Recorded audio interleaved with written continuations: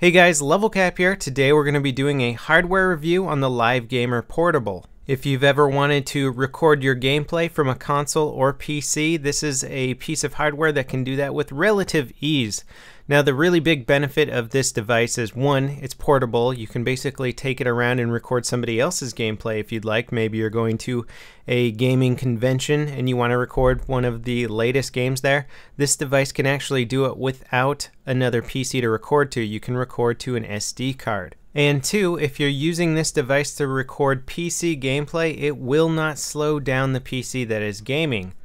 That's something that software only recording setups cannot provide. Fraps or Dxtory definitely hit the frame rate of your computer while recording, and this is one nice way around it. The best way to set this device up is using HDMI cables. It does have component converters for it. Uh, then you plug the thing into your computer with a USB cable to provide it power, and you can also record directly to the computer with that USB cable. If you don't want to record to that computer, you can put an SD card slot in there. You can either record to the same computer that you're gaming on, or you can record to an entirely different computer that you're using for editing.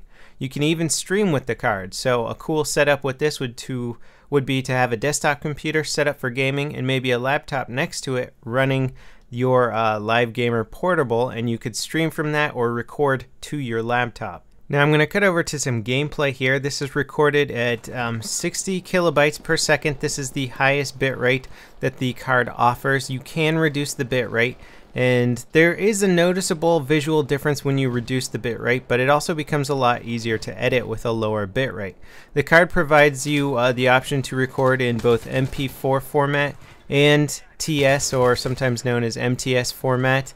Uh, sadly, the TS format doesn't seem to load audio into Vegas when I try and edit it. The audio is definitely linked to the video file because it plays in Media Player, but for some reason Vegas doesn't seem to recognize the TS audio format, which is unfortunate because TS is a lot easier to edit with. A neat feature of the Live Gamer cards is that uh, you can record a audio channel separately from the video audio. So you can have your gameplay audio completely separate from say your commentary audio. So if I'm talking with friends in a game, uh, I can actually record all of that commentary on a different audio channel and uh, then decide later if I want to put it into the game or change the volume uh, independently. This is really great for editing. Sometimes you'll be having a uh, awesome gameplay, but you hate the commentary and you just want the gameplay. Well, that's easy. You just don't load in the extra audio file. This is something that a few other programs offer, but it's just really nice to have it with a capture card. Now the Live Gamer Portable actually looks pretty cool. It's a nice small design uh, and it has a very cool looking blue button that glows when you plug it into a USB port.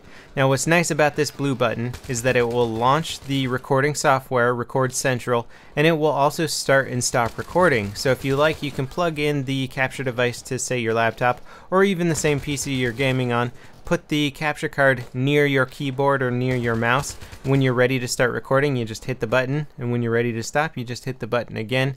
It sort of pulses when you're recording to let you know that the device is actually recording.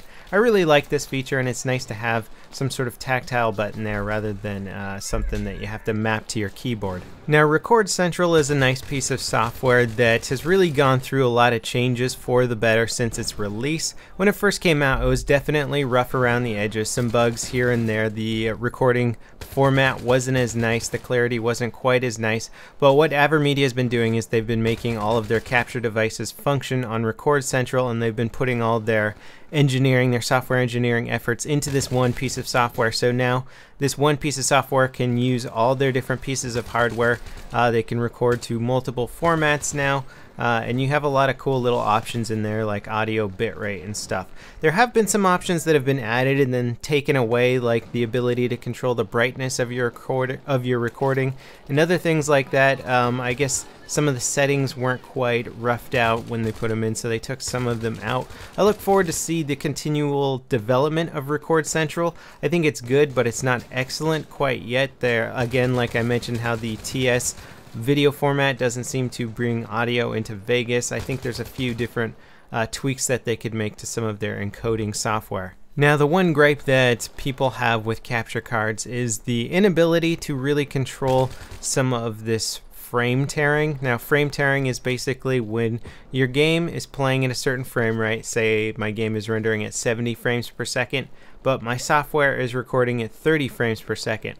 Well, it's not going to record whole frames. It's going to record like part of one frame and then part of the, ne the next frame. And if you watch this gameplay when I move around quickly, you can see a little line that goes down the screen here and there. And that's frame tearing. It's something that doesn't bother me too much personally, but it is something that software recording programs that are recording from the same PC can sort of negate. It would be cool if they could figure out a way to implement this into capture cards. I don't know if it's possible or how easy it would be, but if they could get rid of frame tearing somehow, that would really uh, put this capture card on the level of some of the best looking software recording programs out there. Now, in my quest to sort of find the best capture card or the best recording setup for my specific needs, I've gone through multiple different capture cards from different brands.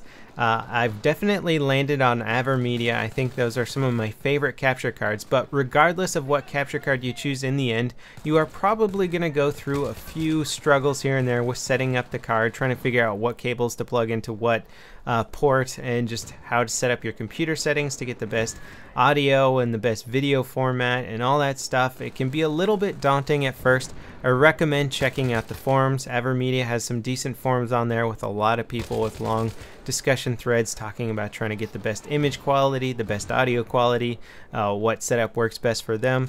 Uh, it's a good resource and I recommend checking it out. So ultimately, the Live Gamer Portable is a great capture card. As far as I can tell, it can do everything just as well as the PCI version, and it even has a few extra options, like the ability to capture to an SD card. I highly recommend checking out this product if you're interested in recording your video gameplay. I've been using AverMedia capture cards for a long time, and I think the Live Gamer Portable is basically the best product that they offer now.